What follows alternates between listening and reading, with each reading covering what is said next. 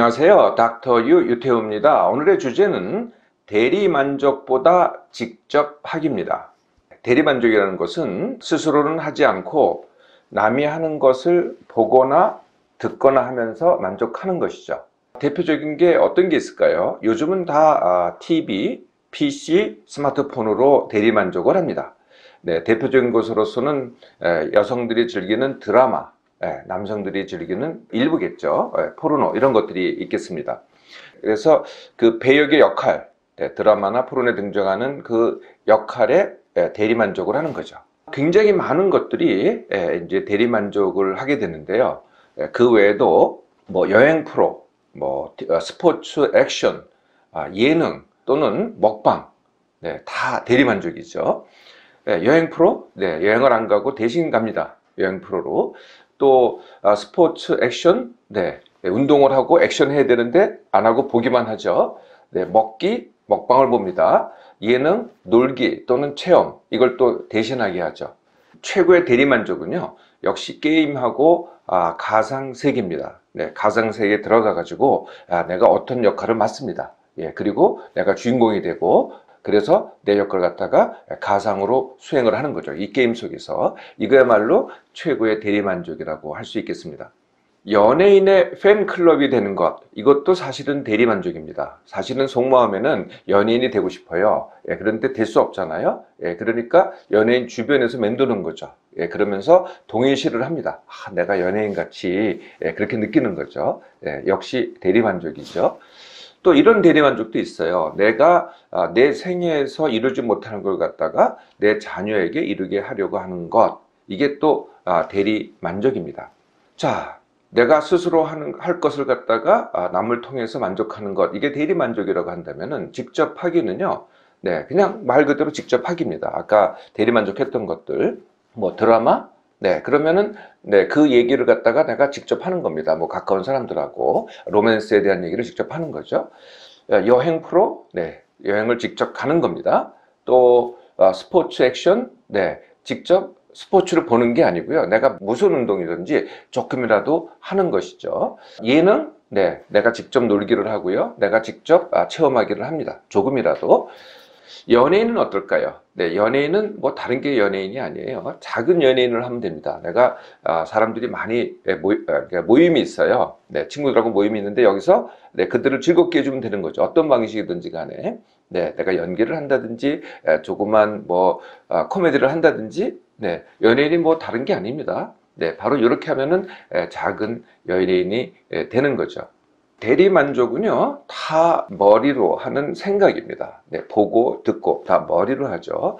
반면에 직접 하기는 어떻게 할까요? 네, 직접 하기는 뭔가, 내 뭔가 마음을 써서 하는 행동입니다. 그러니까 하나는 생각, 하나는 음, 행동이 되겠죠.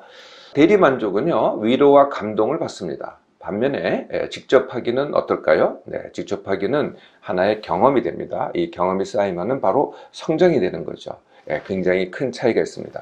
아, 대리 만족하고요. 아, 현실 불만족. 이게 어떤 관계일까요? 네, 사실 이 두 개가 악순환한다는 것은 금방 이해가 되시죠. 대리 만족을 할수록 현실은 불만족하게 되고요. 현실을 만족할수록 대리 만족을 더 하게 됩니다. 어떻게 생각해 봐서는요. 현실이 불만족하기 때문에 대리 만족을 더 한다. 이렇게 생각이 되시는데요. 사실은 그 반대입니다. 대리 만족을 하면 할수록 현실을 불만족하게 됩니다. 왜 그렇게 될까요? 네. 대리 만족에서 보는 거 한번 보세요. 얼마나 크고 멋있습니까? 네, 크고 멋있고 예쁘고 아름답고 그렇지 않아요? 네, 그런데 현실에서 보면은요, 작고 시시하고 믿고 뭐 재미없습니다. 네, 네 그러니까 대리만족을 더 하게 되는 거죠. 또 대리만족을 더 하게 되는 아, 다른 이유가 있어요. 대리만족은 제가 아까 뇌로 하는 생각이라 그랬잖아요. 근데 이 뇌로 할 때 하는 동안은 굉장히 즐겁고 아, 스트레스가 풀리는 것 같아요. 예, 그런데 하고 나면은 아마 이미 다들 경험해 보셨겠지만은 굉장히 피곤합니다. 내가 그렇게 피곤하지? 한 것도 없는데. 예, 그런데 이 내가 TV 보고 동영상 보고 이걸, 이거는요, 내가 한 거라고 생각을 안 하시는데요. 이게 엄청난 뇌의 과로입니다. 이 뇌가 가로되니까 어떻게 돼요? 기력이 소진이 돼요. 물론 몸으로 한 건 아니기 때문에 몸으로 뭔가를 하면은 몸으로 할 수는 있지만은 뭔가를 하려는 의욕도 없고요. 굉장히 기력이 소진돼서 뭘 못할 것 같은 그런 느낌이 들게 하는 게 바로 뇌 가로입니다. 뇌 가로가 진행되면은 기력 소진이 느껴지니까 어떻게 돼요? 네, 일상을 하거나 현실에서 뭔가를 하려고 하면은 힘이 없습니다. 예, 점점 힘이 빠져가지고 하기가 힘들어지고 귀찮아지고 아, 어려워지죠. 네, 예, 그러면 어떻게 되겠어요? 점점 점점 현실에서 벗어나게 됩니다. 나중에는요 현실을 갖다가 회피하게 되죠. 그럼 뭐에 빠져 있어요? 네, 대리만족에만 빠져 있게 됩니다. 대리만족보다 직접 하기를 해봐야 되겠죠. 뭐 그렇게 사실은 뭐 어, 이론적으로는 하나도 어렵지 않습니다. 네, 내가 대리 만족으로 즐겼던 것, 어, 즐겼던 걸 갖다가 무엇이든지 직접 해보기를 하는 거죠. 말씀드렸듯이요, 뭐 드라마에 멋있는 장면이 나와요. 그럼 그걸 내가 한번 따라 해보는 겁니다. 스포츠도 스포츠를 하지 하는 게 아니고요. 내가 어떤 운동, 운동 이든지 내가 직접 하는 겁니다. 체험도 내가 직접 해보는 거고요. 여행도 계획하지 않고 직접 떠나보는 겁니다. 길든 짧든 뭐 혼자든 아, 함께든 네, 뭐든지 직접 해보는 거거든요. 네, 이렇게 예, 직접 해보기를 합니다.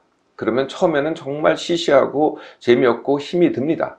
예, 그런데 이게요, 극적인 반전이 일어나는데요. 네, 그, 그, 그때까지 걸리는 시간이 단지 2주입니다. 이거는 함께 보도록 하겠습니다.